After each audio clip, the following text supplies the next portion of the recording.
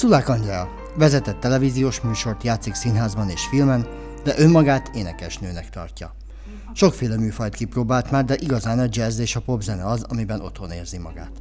Ezúttal csak magyar dalokat hozott. Már jó ideje egyébként missziómnak érzem, hogy időről időre magyarul, magyar dalokat énekeljük a magyar közönségnek, annak ellenére, hogy engem alapvetően úgy ismert meg a nagy publikum, hogy angol nyelven énekeltem, mert a műfaj, amivel elkezdtem, a pop és a jazz, azok, azok angol anyanyelvű történetek, és ennél izgalmasabb kihívást, mint például most megyünk a stúdióba két hét múlva, ismét csinálunk magyar dologból magyar zenészekkel egy olyan jazz albumot, amit a legkorszerűbb jazz figurákkal fognak ők megfűszerezni, én meg csak énekelgetek. Sassziba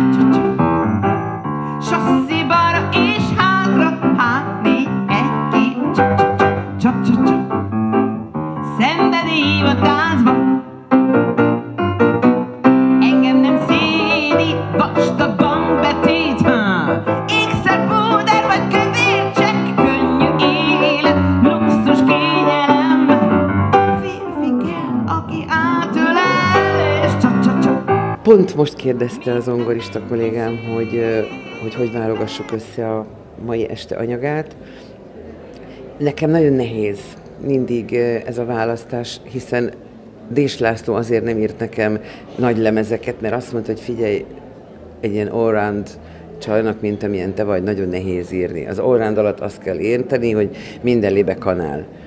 De ő finom volt. Tehát nagyon sokféle dolog van az én kis étlapomon, és erről igyekszem mindig az alapvetéseket előrángatni. Tehát ami, amit tud a közönség rólam, velem kapcsolatban, talán el is vár, talán meg is méri, hogy mm, még pár évvel ezelőtt ezt így énekelte, és most vajon el tudja-e még úgy énekelni. Tehát én azt gondolom, hogy itt is olyan dolgokat hozok, ami, ami számomra is fontos, de a közönségnek sem kell azért pipiskedni, hogy megértse, hogy most miről is van szó. Tudom, hogy miket akarok énekelni, de természetesen a műsorváltozás joga mindig fent van, és szerencsére egy olyan zongora művész kísér, Elek Norbert, aki a szemem villanásában már tudja, hogy most ez igen, ez most nem, vagy kettő, vagy vegyük bele azt, amit amúgy is nagyon szeretünk mi is, mert most itt egy nagyon érzékeny közönség van, itt ez el tud menni. Tehát igen, szeretnénk jól szolgálni. Most én, most vigyázz, hogy jól csináld, mert a legapróbb hibát megbosszulja önmagát. Most én, most örülj, hogy szép a nyár, most örülj, hogy van kivál,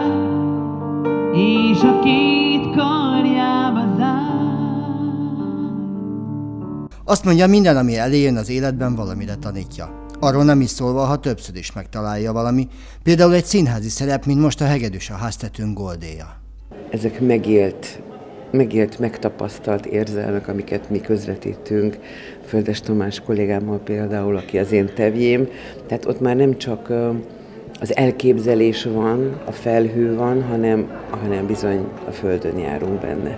Hét évvel ezelőtt volt annak az előadásnak a premierje, amikor akkor sem voltam már kisbaba, de még nem voltam egy, ö,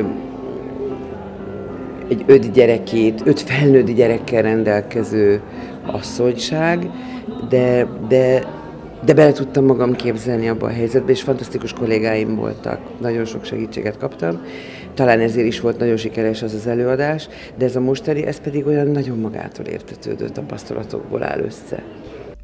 Már nem futok semmi után, mondja. Elérkezett az idő, hogy más dolog vezessen, ha munkát fogadok el. Szerelemből. Kizárólag. Már, már, már, már nem szabad másból elvállalnom.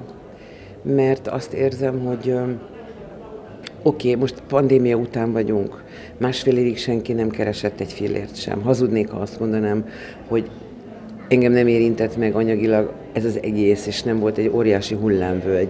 De mégis azt mondom, és azt vallom, hogy nem vagyok hajlandó visszaállni abba a régi mókuskerékbe, és csak olyan munkákat vállalok el, ami, ami, ami szívből jön, ami mélyről jön, amihez közön van, amivel dolgom van. Én gyűlöl írtam az álmokat,